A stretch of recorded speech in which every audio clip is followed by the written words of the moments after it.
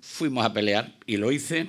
con el asesoramiento, sin duda alguna, de aquellos que bien conocían el tema y fuimos capaces en San Petersburgo, defendiendo con uñas y dientes y también con argumentos sólidos la permanencia de los monumentos del casco histórico como patrimonio de la humanidad y también que la torre, hoy llamada Sevilla, fuera una auténtica realidad puesta al servicio del crecimiento, pero sobre todo de la seguridad jurídica que supone invertir en Sevilla.